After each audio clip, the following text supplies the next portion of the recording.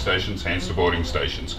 Away blue boarding party. Personnel not involved in boarding stations are to clear off the upper decks. Over the last 24 hours in the Arabian Sea, HMAS Warramunga detected, intercepted, and then boarded a suspicious vessel.